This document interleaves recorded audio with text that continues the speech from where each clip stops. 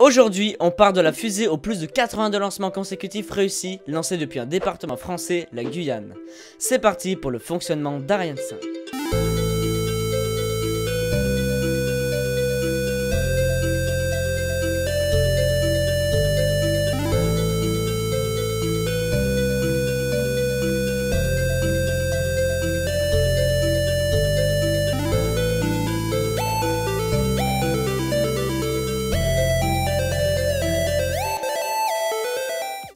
Ariane 5 est l'un des trois lanceurs d'Arianespace, une société française dirigée par l'ESA, l'Agence spatiale européenne. Encore une fois, Ariane 5 se décline sous plusieurs modèles différents, utilisés selon la mission à accomplir. Je vais alors vous parler de la version ECA, qui n'est pas sa version la plus puissante, mais celle qui est la plus utilisée actuellement. Ariane 5 est le cinquième lanceur de la famille Ariane. Et sa version ECA est nommée ainsi par rapport à son second étage, ESCA, pour étage supérieur cryotechnique modèle A. Il comporte donc deux étages et deux boosters d'accélération à poudre. Le premier étage, aussi appelé EPC pour étage principal cryogénique, mesure 30,5 mètres de haut pour 5,4 de large et pèse 185,5 tonnes lorsqu'il est rempli.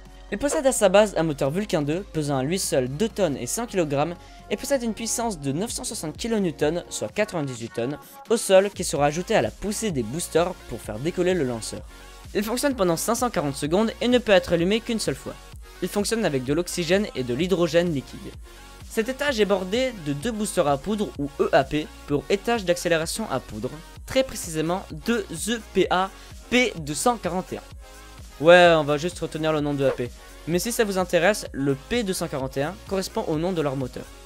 Chaque booster mesure 31 mètres de hauteur pour 3 mètres de largeur et pèse 273 tonnes une fois rempli.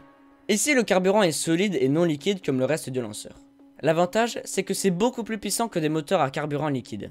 Pourquoi on n'utilise pas uniquement ce genre de moteur? Eh bien, car une fois allumé, le carburant va brûler jusqu'à ce qu'il n'y ait plus de carburant et on ne peut donc pas les éteindre plus tard. Ils sont juste là pour accélérer la fusée pendant le décollage, puis ils sont largués. On le remplit d'une sorte de pâte composée de perchlorate d'ammonium. Bon, on va juste dire que c'est une pâte. La composition de cette pâte la fait exploser lorsqu'on la chauffe rapidement à des hautes températures, ce qui permet de faire décoller la fusée lors de l'évacuation de ces explosions par la tuyère des boosters. Cette pâte n'est pas placée par hasard comme en remplissant simplement le réservoir pour en avoir le plus possible, car si on fait comme ça, les explosions ne pourront pas être bien évacuées et elles perdront énormément en puissance.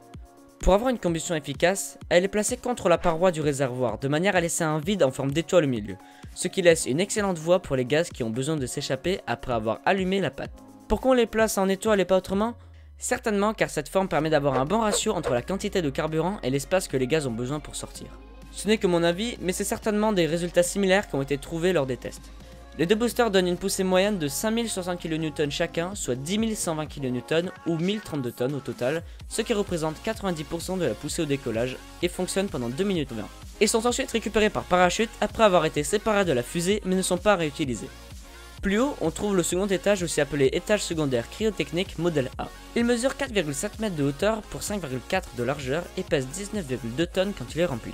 Il donne une poussée de 64,8 kN ou 6,6 tonnes pendant 16 minutes 16 et utilise comme le PC, le premier étage, de l'oxygène et de l'hydrogène liquide pour faire fonctionner son moteur HM7B qui ne peut pas être réallumé.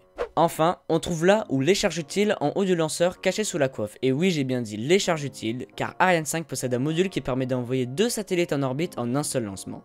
Le module le plus utilisé s'appelle SILDA pour Système de lancement double Ariane.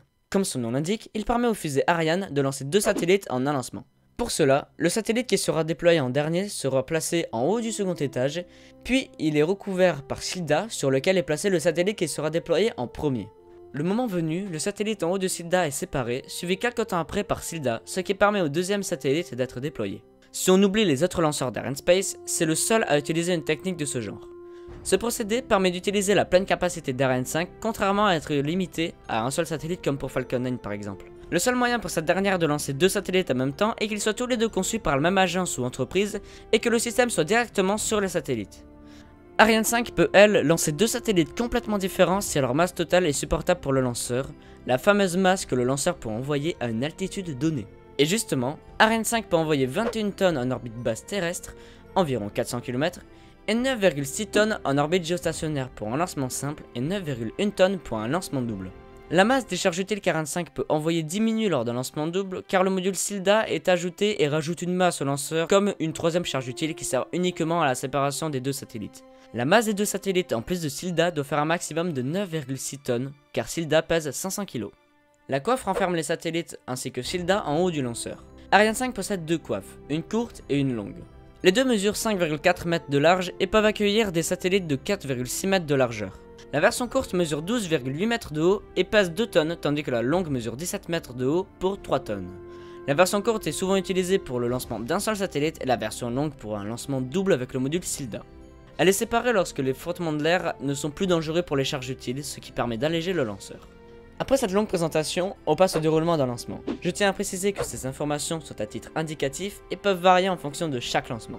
À témoin 4 minutes a lieu la pressurisation du premier étage et la fin de la préparation du deuxième étage. À témoin 2 minutes, le moteur Vulcain prépare son allumage. À témoin 7 secondes, les deux bras ombilicaux qui alimentent le premier étage en carburant se retirent. À témoin 12 secondes, ouverture des vannes qui permettent d'envoyer de l'eau sous les moteurs afin d'atténuer les vibrations du lanceur afin de protéger le pas de tir. À témoin 3 secondes, ont lieu les dernières vérifications qui pourraient annuler le lancement. À T plus 0 secondes, le moteur Vulcain s'allume pendant 7 secondes avant l'allumage des EAP pendant lesquelles les vérifications ne doivent trouver aucun dysfonctionnement, sinon le moteur est éteint avant l'allumage des EAP. À T plus 7 secondes, les EAP sont allumés si les derniers contrôles sont positifs, sinon les EAP ne s'allument pas. Ne pouvant pas être éteints, les EAP sont allumés au dernier moment. Ariane 5 décolle à partir de ce moment. Entre T plus 12 et 32 secondes, le lanceur effectue une manœuvre de roulis et de basculement qui lui permet de se mettre sur une bonne trajectoire de lancement. Au bout d'une minute, Ariane 5 entre dans la zone de Max Q, la zone où les pressions dynamiques sont à leur maximum, qui arrive 20 secondes après avoir passé Mach 1. C'est le passage le plus risqué du lancement, et Ariane 5 sort de cette zone une minute plus tard, au bout de 2 minutes 50 après le décollage. À T plus 2 minutes 20, les EAP sont séparés grâce à des petits propulseurs placés en haut et en bas de ces derniers. La coiffe est larguée au bout de 3 minutes 28. Au bout de 7 minutes 30, le lanceur atteint son altitude maximale, à 183 km d'altitude, et commence une phase de descente qui lui permet de gagner de plus en plus de vitesse grâce à la chute et à la poussée du moteur. Moteur qui s'éteint vers T plus 8 minutes 50 et l'étage est séparé 6 secondes plus tard. À T plus 9 minutes, le moteur du second étage s'allume et reste allumé jusqu'à ce que la trajectoire demandée soit atteinte. On y revient tout de suite. Et le premier étage va faire une chute libre et se consumera au-dessus de l'océan Pacifique. Vers T plus 14 minutes 35, la phase de descente est terminée et le lanceur est maintenant à une altitude de 156 km et recommence à monter.